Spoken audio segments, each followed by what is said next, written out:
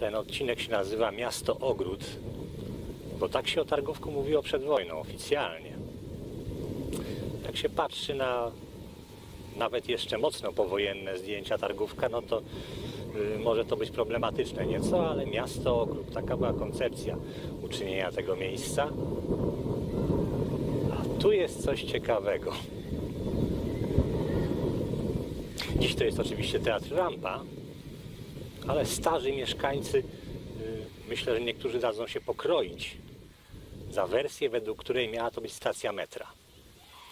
Metro budowano w latach 50., głębokie metro na targówku fabrycznym, to jest stąd dobry kilometr w linii prostej. No i oczywiście ta linia miała prowadzić w kierunku Wisły, a nie tu. Więc tą stacją metra to prawdopodobnie była propagandowa zagrywka, żeby amerykańskim imperialistom nie przyszło do głowy szukać tam na fabrycznym, tylko tu. No i trwa ta legenda miejska do dziś. A historia teatru też jest ciekawa. Powstał nawet film pokazujący jego ośmioletnią budowę. Film się nazywa bardzo śmiesznie, gdzie diabeł mówi dobranoc. Tam pokazany jest targówek rzeczywiście y, niezbyt pięknie, w takich bardzo czarnych barwach. Teatr budowano 8 lat, coś niesamowitego. W tamtych czasach się budowało błyskawicznie, a tu jakoś tak. No ale dziś mamy.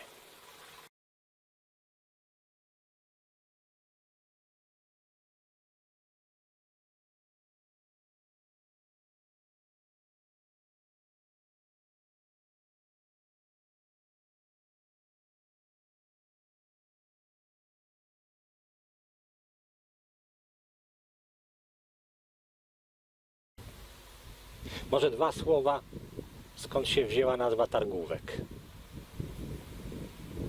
Wieś targowe istniała już w XIV wieku. No nie tu, nie tu, znacznie bliżej Wisły. Potem ona się dzieli na targowe wielkie, targowe małe i ta nazwa targowe małe ewoluuje sobie powolutku. Pojawia się targówko, no i w końcu targówek. A rzecz ciekawa, bo nam się y, pochodzenie tej nazwy kojarzy z handlem, z targiem, y, tymczasem nie.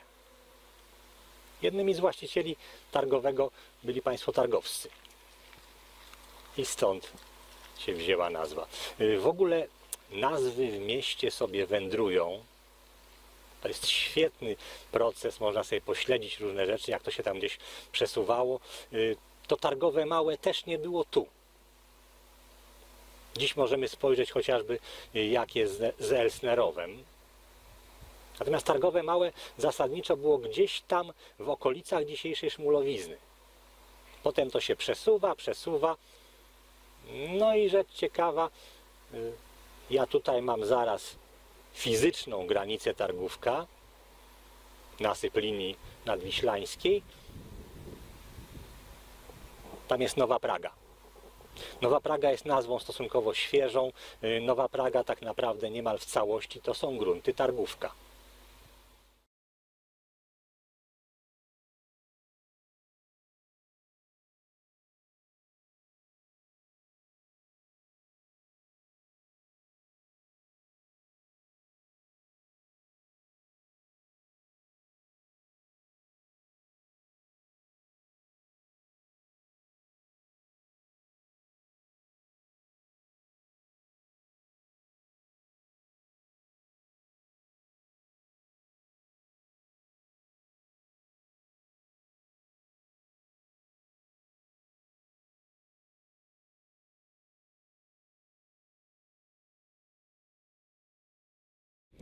To jest wieża ciśnień. Wieża ciśnień fabryki drzewnej. Y, Wieża pochodzi gdzieś z końcówki XIX wieku prawdopodobnie. Y, Fabrykę w latach międzywojennych prowadził przez jakiś czas Stefan Kattelbach i to jest niesamowita historia. Y, To był człowiek z kompletnie innej bajki. To był jeden z najbogatszych ludzi w ówczesnej Polsce. On się zajmował między innymi wydobyciem węgla, eksportem stali, inwestował w przemysł naftowy, a tutaj taka fabryczka, skromna fabry- fabryczka szpul dla przemysłu włókienniczego i on. Y, Prawdopodobnie y, to było tak, że jemu ten zakup, jak to się brzydko mówi, wpadł przy okazji. Dostał tę małą fabryczkę gdzieś w rozliczeniu przy jakiejś poważnej transakcji. No i przez jakiś czas był jej właścicielem. Y, Tam jest najstarsza na Pradze linia kolejowa, kolej petersburska, 1862 rok. A za mną bardzo ciekawy budyneczek. Y, Dziś tu jest McDonald's, to jest już kolejne jego życie, bo on jest strasznie jakiś żywotny, ma bardzo fajną historię. Y, Powstał zapewne gdzieś w latach 70. XIX wieku. No i tak sobie stał, stał. Y, Przyszedł rok 1942, y, rosyjskie bombardowanie Targówka 20 sierpnia. Y, Tutaj upadła bomba, no i miał szczęście, nie wybuchła. Kościół Chrystusa Króla, no to już kolejny na Targówku, po Kościele Zmartwychwstania Pańskiego. Też jest wotum wdzięczności za zwycięstwo w wojnie bolszewickiej. Parafię erygowano w 1932 roku. Proboszczem został znakomita postać ksiądz Jan Golędzinowski. Y, Prowadzono szeroko zakrojoną zbiórkę ofiar na budowę kościoła. Warto pamiętać, na liście ofiarodawców znaleźli się prezydenci Mościcki, Stefan Starzyński, prezydent Warszawy, y, minister Beck. No, ta akurat postać kontrowersyjna. Y, Kościół y, zaczęto budować w 1934 roku. Y, Do 1939 roku wybudowano ściany do wysokości chóru. Potem wojna. W czasie okupacji prowizorycznie zabezpieczono kościół.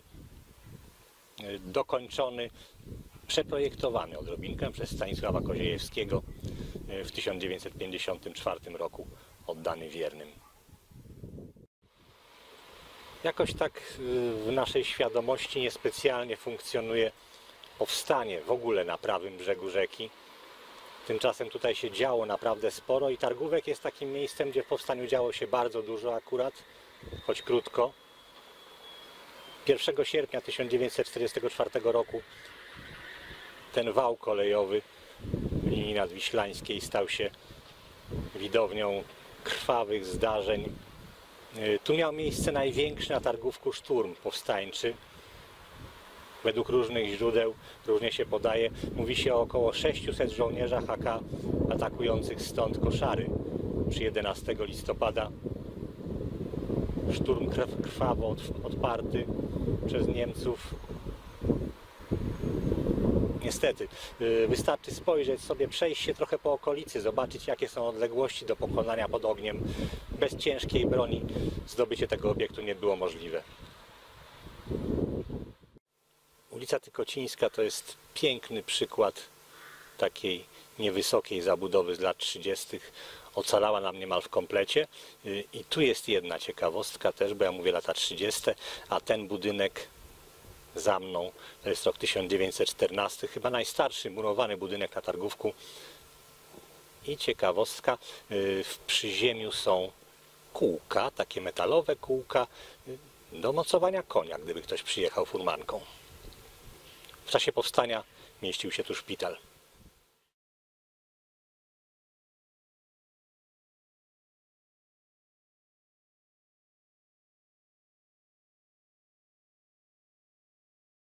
Tam była taka scena, że ten Jasza potem już chciał z Bogiem rozmawiać, wchodził po linie, gdzieś spinał się, spadał, spadał, spadał i nagle wychodzi i widzi i schodzi z góry właśnie z tych sztankietów jest kukła Magdy, która jest, że jest powieszona. To bardzo taka była scena, że jak mówię o niej, zobaczcie, mam ciary takie, że... I ja w tym momencie widząc, mówię, krzyczę Magda! I w tym momencie Magdzie noga odpadła. Wszyscy koledzy, którzy stali tutaj z tymi świecami, tu taka... Było, no, no, no, no, no, wszyscy No się tak, odwrócili, żałobnie. a ta noga tak... I ja tak... Magda! Noga ci odpadła!